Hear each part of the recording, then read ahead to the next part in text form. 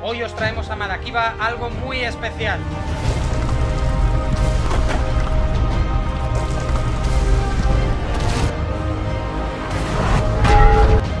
¿Por dónde empiezo a leer cómics de Marvel?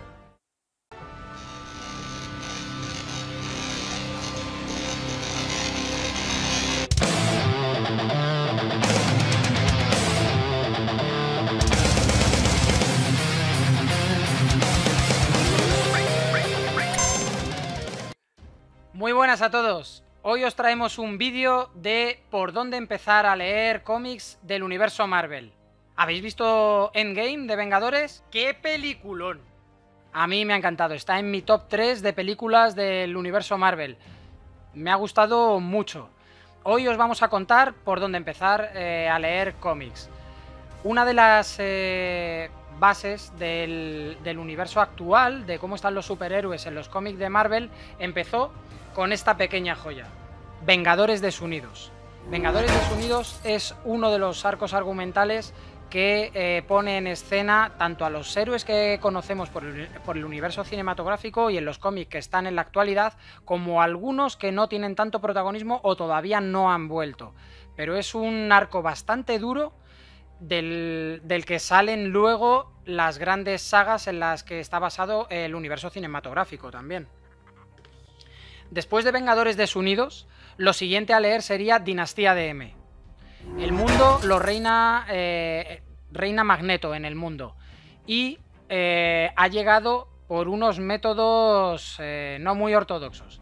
Algunos personajes eh, principales de ese cómic empiezan a sospechar y a sentir cosas que no debieran o que no entienden y empieza una revuelta. Eh, es un cómic también imprescindible y que seguiría la línea de Vengadores desunidos.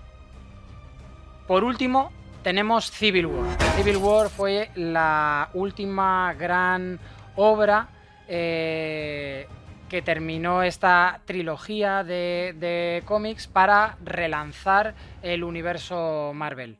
Eh, los superhéroes aquí se enfrentan entre ellos por diferentes ideologías, por eh, unas creencias que defienden unos, que defienden otros, con personajes eh, con conflictos morales, eh, muchos temas de actualidad y un trasfondo bastante duro. Un trasfondo bastante duro que hace a muchos superhéroes replantearse el por qué están, a quién sirven, qué es lo que están haciendo, bien, mal y deben de elegir, deben de elegir. Entonces hay muchos superhéroes eh, y realmente es una Civil War, no como en la película que a mi gusto estaba un poco descafeinada, le faltaban muchos motivos y muchísimos personajes. Entonces, con esa trilogía integral, Vengadores desunidos, Dinastía de M y Civil War, nos ponemos muy al día de cómo se ha construido este universo Marvel, Marvel moderno.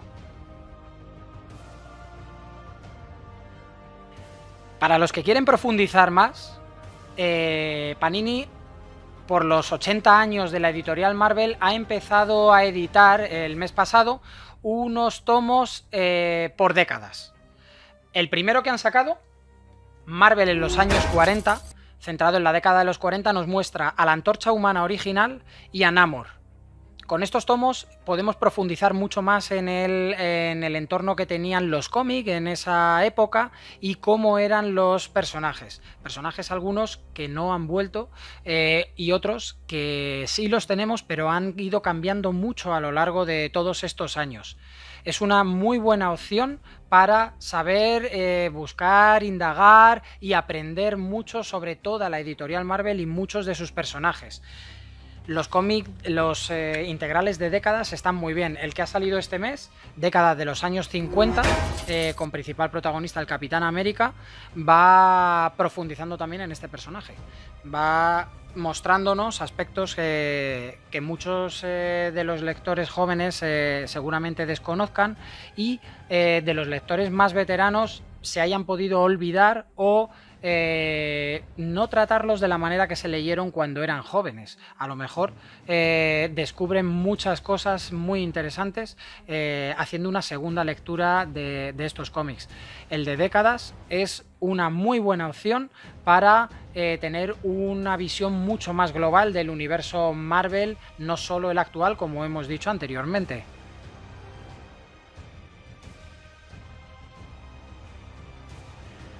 Pues hasta aquí nuestra pequeña guía de por dónde empiezo a leer cómics de Marvel.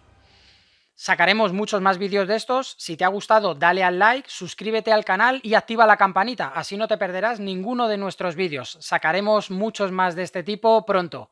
Muchas gracias a todos, hasta luego. Y hasta aquí las noticias de actualidad. Vamos con los deportes, Joe.